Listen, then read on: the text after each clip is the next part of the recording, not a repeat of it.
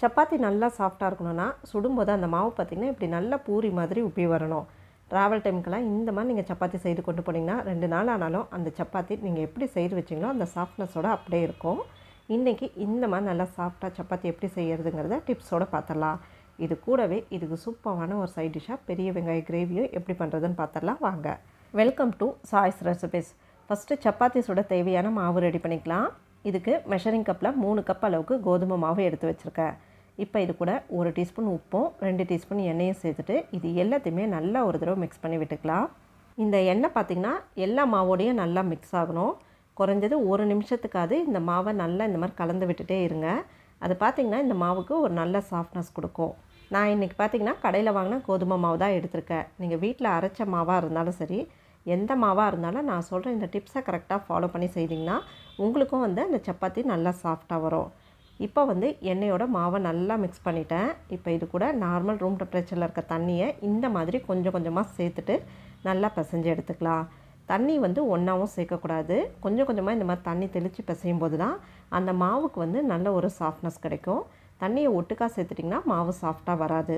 கொஞ்சம் கொஞ்சமாக இந்த மாதிரி தெளித்து விட்டு கொஞ்சம் நல்லா ப்ரெஷர் கொடுத்து பிசைங்க அந்த ப்ரெஷரில் தான் அந்த மாவு வந்து நல்லா சாஃப்டாகும் நீங்கள் சாஃப்டாக வரதுக்காக சுடு தண்ணி சேர்க்கணும் தயிர் சேர்க்கணும் பால் சேர்க்கணுங்கிற அவசியம்லாம் கிடையாதுங்க.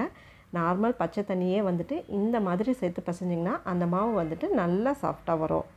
இப்போ பார்த்திங்கன்னா இந்த மாவு வந்து நான் பசைஞ்சு எடுத்துட்டேன்.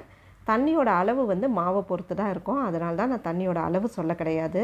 மல்டிகிரெயின் ஆட்டாலாம் யூஸ் பண்ணுறதா இருந்தால் அந்த மாவுக்கு தண்ணி கொஞ்சம் கூடுதலாக தேவைப்படும். சிலர் வந்து வீட்டிலேயே மாவு அரைக்கும் போதுமே அது கூட கொஞ்சம் தானியமெல்லாம் சேர்த்து தான் அரைப்பாங்க. அதனால் எடுக்கிற மாவை பொறுத்து தான் தண்ணியோட அளவு இருக்கும். அதனால தான் நான் தண்ணி சொல்ல கிடையாது. மாவு பிசைஞ்ச பிறகு இந்த மாதிரி ஒரு ரெண்டு நிமிஷத்துக்கு நல்லா இதை தூக்கி அடித்து பிசைஞ்சிக்கோங்க. இது பார்த்திங்கன்னா இன்னும் கொஞ்சம் நல்லா சாஃப்ட்னஸ் கொடுக்கும்.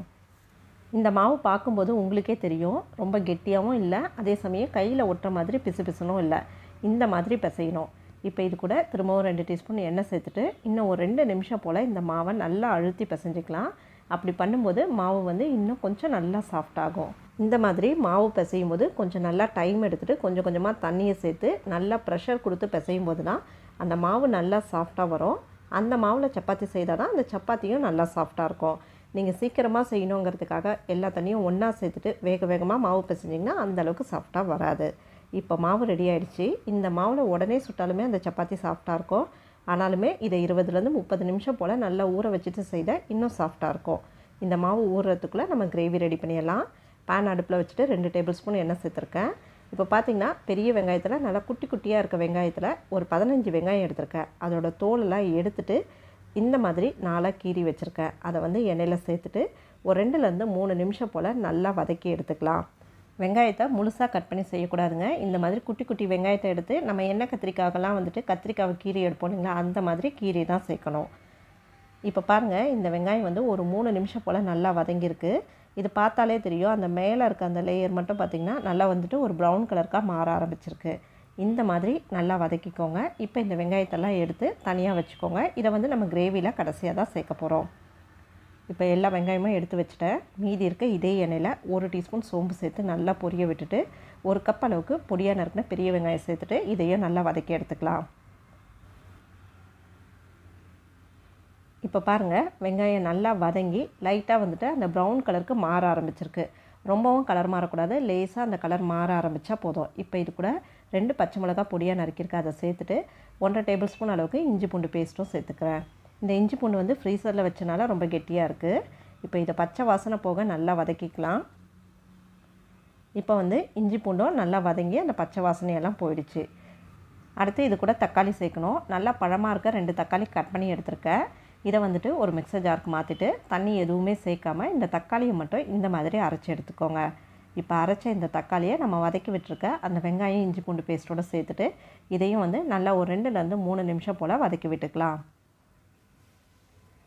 இப்போ பார்த்திங்கன்னா அந்த தக்காளி நல்லா வதங்கி அந்த பச்சை வாசனையெல்லாம் போயிடுச்சு. அந்த தக்காளி பார்த்திங்கனாலே நல்லா கலர் மாறி வந்திருக்கு. இப்போ இந்த ஸ்டேஜில் இது கூட அரை டீஸ்பூன் மஞ்சள் தூள் ஒரு டீஸ்பூன் மிளகாத்தூள் சேர்த்துக்கிறேன். நீங்கள் உங்கள் காரத்துக்கு ஏற்ற மாதிரி சேர்த்துக்கோங்க. அடுத்து ரெண்டு டீஸ்பூன் அளவுக்கு தனியாத்தூளும் சேர்த்துட்டு இதை வந்து நல்லா வதக்கி விட்டுக்கலாம். இந்த பொடியோட பச்சை வாசனையெல்லாம் போகணும். அந்த மாதிரி நல்லா வதக்கிக்கோங்க. இப்போ பாருங்கள் நல்லா எண்ணெய் தெளிஞ்சு வந்திருக்கு. அந்த பொடி வெங்காயம் தக்காளி எல்லாமே நல்லா வதங்கிடுச்சு. இப்போ இது கூட ஃப்ரெஷ்ஷாக இருக்க தயிர் வந்து ஒரு கப் அளவுக்கு எடுத்துருக்கேன் இதை சேர்த்துட்டு நல்லா கலந்து விட்டுக்கலாம். தயிரை சேர்த்ததும் இந்த மாதிரி நல்லா கலந்து விட்டுருங்க. இல்லைனா அது சரியாக மிக்ஸ் ஆகாமல் அப்படியே கட்டி கட்டியாக நின்றுடும் இல்லைனா வந்து தயிர் சேர்க்கறதுக்கு முன்னே நல்லா அதை பீட் பண்ணி கொஞ்சம் கூட கட்டி இல்லாமல் ஸ்மூத்தாக வந்த பிறகு அதுக்கப்புறமா இதோட சேர்த்துக்கோங்க. இப்போ பாருங்கள் நான் தயிரோடு சேர்த்து நல்லா மிக்ஸ் பண்ணிட்டேன். இந்த மாதிரி நல்லா மிக்ஸ் பண்ணிவிட்டு இதை வந்து மூடி வச்சுட்டு ஸ்டவ்வை வந்து சிம் டு மீடியம் ஃப்ளேமில் வச்சுடுங்க. இப்போ வந்து ஒரு நாலு நிமிஷம் போல் ஆயிருக்கு. பார்த்தாலே தெரியும். நல்லா எண்ணெய் தெளிஞ்சு வந்திருக்கு. இந்த மாதிரி வரணும். இப்போ இதில் வந்து எந்த பச்சை வாசனையும் இல்லை. நல்லா வெந்து கிட்டத்தட்ட ஒரு செமி கிரேவி மாதிரி இருக்குது நல்ல ஒரு ஃப்ளேவர் வருது. இந்த மாதிரி வரணும். இப்போ இது கூட நம்ம ஏற்கனவே வதக்கி எடுத்து வச்சுருக்க அந்த பெரிய வெங்காயத்தை சேர்த்துடலாம். கூடவே முக்கால் டீஸ்பூன் அளவுக்கு கரம் மசாலா இந்த கிரேவிக்கு தேவையான அளவுக்கு உப்பு சேர்த்துட்டு ஒரு டேபிள் ஸ்பூன் அளவுக்கு கசூரி மெத்தி எடுத்திருக்கேன். இதை வந்து நல்லா இந்த மாதிரி க்ரஷ் பண்ணி சேர்த்துக்கலாம். இது வந்து வாசனைக்காக தான். நீங்கள் கசூரி மேத்திக்கு பதிலாக நல்லா பொடியாக நறுக்குன கொத்தமல்லி தலை கூட சேர்த்துக்கலாம். இந்த வெங்காயம் கரம் மசாலா இது எல்லாமே சேர்த்து நல்லா மிக்ஸ் பண்ண பிறகு பாருங்கள் கிரேவி வந்து முன்னே இருந்ததை விட இன்னும் கொஞ்சம் நல்லா திக்காயிடுச்சு இப்போ இதை வந்து கொஞ்சம் லூஸ் பண்ணிக்கலாம். உங்களுக்கு எந்த அளவுக்கு திக்னஸ் வேணுமோ அதுக்கேற்ற மாதிரி நீங்கள் வந்து தண்ணி சேர்த்துக்கோங்க. நான் வந்து முக்கால் கப் அளவுக்கு சேர்த்துருக்கேன். இப்போ இது எல்லாமே சேர்த்துட்டு நல்லா ஒரு தடவை கலந்து விட்டுறலாம். இப்போ ஸ்டவ்வை மீடியம் ஃப்ளேமில் வச்சுட்டு இதை மூடி வச்சுடுங்க. ஒரு மூணுலேருந்து நாலு நிமிஷத்துக்கு போல் இது வேகட்டும். ஏற்கனவே நல்லா வெந்திருக்கனால ரொம்ப நேரம் கொதிக்க விட வேண்டாம். ரொம்ப நேரம் வெந்துச்சுன்னா அந்த வெங்காயம் எல்லாமே வந்து தனித்தனியாக பிரிஞ்சு வர ஆரம்பிச்சிடும். இப்போ பாருங்கள் மேலே நல்லா எண்ணெய் தெளிஞ்சு வந்திருக்கு. நல்ல வாசனையாகவும் இருக்குது இப்போ வந்து ஸ்டவ் ஆஃப் பண்ணிடலாம். சூப்பரான ஆனியன் கிரேவி ரெடி ஆகிடுச்சு இது சப்பாத்திக்குன்னு மட்டும் இல்லைங்க. Pulao ghee rice fried rice இந்த மாதிரியான வெரைட்டி ரைஸ்க்கும் பக்காவான சைட் டிஷ்ஷாக இருக்கும். மிஸ் பண்ணாமல் ட்ரை பண்ணி பாருங்கள் அடுத்து வந்து நம்ம சப்பாத்தி ரெடி பண்ணிடலாம். நம்ம ஊற வச்ச மாவு வந்து கிட்டத்தட்ட அரை மணி நேரம் போல் ஊறியிருக்கு. இந்த மாவு பாருங்கள் எந்த அளவுக்கு நல்லா சாஃப்டாக இருக்குன்னு. இப்போ இதுலேருந்து ஒரு பால் சைஸ்க்கு மாவு எடுத்துக்கோங்க. இந்த மாவு வந்து வெடிப்பு இல்லாமல் நல்லா இந்த மாதிரி அழுத்தி ஒரு தடவை உருட்டி எடுத்துக்கோங்க. இந்த மாவு பாருங்கள் எடுத்து யூஸ் பண்ணும்போது இந்த மாதிரி நல்லா சாஃப்டாகவும் கையில் ஒட்டாமலும் இருக்கணும். அப்போ தான் வந்து சப்பாத்தியும் நல்லா வரும். இப்போ இது கூட ட்ரையாக இருக்க கோதுமை மாவு சேர்த்துட்டு இந்த மாதிரி நல்லா டஸ்டிங் பண்ணி எடுத்துக்கோங்க. இப்போ இதை வந்து பூரிக்கட்டையில் வச்சுட்டு இந்த மாதிரி நல்லா ரவுண்டாக தேய்ச்சி எடுத்துக்கோங்க. ரவுண்டாக இருந்தால் தான் சப்பாத்தி வந்து நல்லா வரும்னு கிடையாதுங்க. அந்த மாதிரி இருந்தால் பார்க்குறதுக்கு நல்லாயிருக்கும் உங்களுக்கு அந்த மாதிரி கரெக்டாக தேய்க்க வரலைனாலும் பரவாயில்ல. இப்போ வந்து சப்பாத்தி தேய்ச்சி எடுத்தாச்சு. இந்த அளவுக்கு திக்னஸ் இருக்க மாதிரி பார்த்துக்கோங்க ரொம்ப மொத்தமாகவும் இருக்கக்கூடாது. அதே சமயம் ரொம்ப சன்னமாகவும் இருக்கக்கூடாது. இப்போது நல்லா சூடாக இருக்க தவால இந்த மாவை சேர்த்துட்டு ஒரு பத்து செகண்ட் மட்டும் விடுங்க. ரொம்ப நேரம் விடக்கூடாது. பத்து செகண்ட் ஆனதும் இதை திருப்பி விடுங்க. திருப்பி விட்டு இன்னொரு பக்கமும் ஒரு பத்துலேருந்து பதினஞ்சு செகண்ட் வெந்தால் போதும். ரொம்ப வேகக்கூடாது. இப்போ ரெண்டு பக்கமும் ஒரு பத்து பதினஞ்சு செகண்ட் வெந்த பிறகு இதை வந்து இந்த மாதிரி எடுத்து டேரெக்டாக அடுப்பில் வச்சுடுங்க. உங்ககிட்ட வந்துட்டு அடியில் க்ரில் pan இருந்தால் அதில் வச்சு கூட பண்ணலாம். இப்போ பார்த்திங்கனாலே தெரியும் அந்த மாவு எந்த அளவுக்கு நல்லா பூரி மாதிரி உப்பி வருது. இந்த மாதிரி வரணுங்க. அப்போ தான் அந்த சப்பாத்தி நல்லா சாஃப்டாக இருக்கும். இப்போ ரெண்டு பக்கமும் நல்லா வெந்ததும் எடுத்து வச்சுக்கலாம்.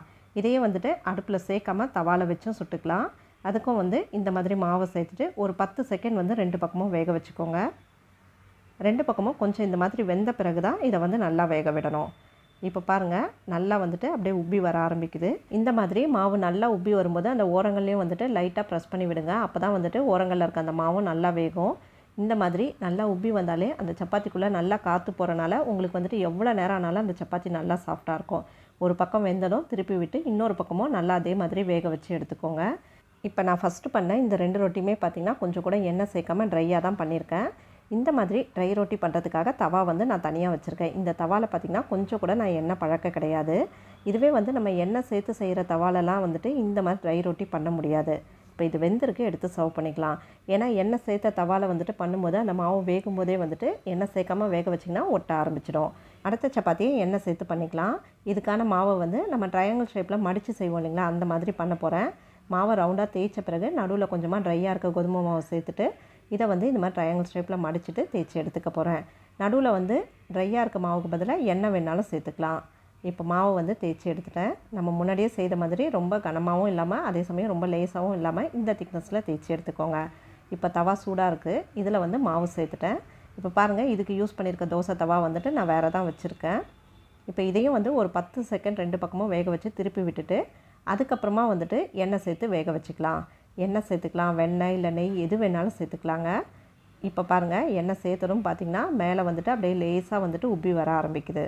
இதையும் வந்துட்டு நம்ம முன்ன பண்ண மாதிரியே அந்த ஓரங்கள்லாம் லைட்டாக அழுத்தி விட்டு ரெண்டு பக்கமும் நல்லா வேக வச்சு எடுத்துக்கோங்க. சப்பாத்தி வந்து நல்லா சாஃப்டாக வரதுக்கு நீங்கள் எப்படி சுடுறீங்கிறத விட அந்த மாவு எப்படி பிசைகிறீங்கிறது தாங்க முக்கியம். நீங்களே பார்த்தாலே தெரியும். நம்ம ஃபஸ்ட்டு டேரெக்டாக அடுப்பில் சுட்டதும் சரி தவாவில் சுட்டதும் சரி இப்போ எண்ணெய் சேர்த்து இந்த மாதிரி மடித்து சுடுற சப்பாத்தியும் சரி எல்லாமே வந்துட்டு நல்லா உப்பி வந்திருக்கு. இந்த மாதிரி நல்லா உப்பி வரும்போதே பார்த்திங்கன்னா அதுக்குள்ளே நிறையா வந்துட்டு காற்று போகும். அதிலே வந்துட்டு அந்த சப்பாத்தி நல்லா சாஃப்டாக வரும். இப்போ வந்து நம்ம ஃபஸ்ட்டு சைடு அந்த புல்கா எடுத்திருக்கேன். இதில் வந்துட்டு கொஞ்சமாக வந்து நான் வெண்ணெய் அப்ளை பண்ணிக்கிறேன். இதுக்கு பதிலாக நீங்கள் நெய் வேணாலும் சேர்த்துக்கலாம். அதுவுமே நல்லாயிருக்கும் இது வந்து ஆப்ஷனல் தான். வேண்டாம்னா ஸ்கிப் பண்ணிடலாம். இப்போ இந்த சப்பாத்தி எவ்வளோ சாஃப்டாக வந்திருக்குன்னு காட்டுறேன் பாருங்கள் கையில் எடுத்து எவ்வளோ மடக்கி எவ்வளோ கசக்கினாலுமே கொஞ்சம் கூட கிழியவும் மடங்கவும் கிடையாது. நம்ம எப்படி செய்து வச்சோமோ அதே மாதிரி இருக்குது இந்த மாதிரி இருந்தாலே போதுங்க. நீங்கள் இந்த சப்பாத்தியை செய்து எவ்வளோ நேரம் ஆனாலுமே உங்களுக்கு அந்த சாஃப்ட்னஸ் அப்படியே இருக்கும். மிஸ் பண்ணாமல் நான் சொன்ன இந்த டிப்ஸ் எல்லாம் ஃபாலோ பண்ணி நீங்களும் ட்ரை பண்ணி பாருங்கள் கூடவே இந்த வெங்காய கிரேவியும் ட்ரை பண்ணிவிட்டு எப்படி இருந்ததுன்னு மறக்காமல் கமெண்ட் பண்ணுங்கள் உங்களுக்கு இந்த மாதிரி வேறு ஏதாவது ரெசிபி வேணுன்னா அதையும் கமெண்ட் பண்ணுங்கள் நம்ம ட்ரை பண்ணி பார்க்கலாம். இந்த ரெசிபி எல்லாம் உங்களுக்கு பிடிச்சிருந்தா வீடியோ லைக் பண்ணிவிட்டு உங்கள் ஃப்ரெண்ட்ஸோட ஷேர் பண்ணிக்கோங்க. மீண்டும் அடுத்த வீடியோவில் பார்க்கலாம்.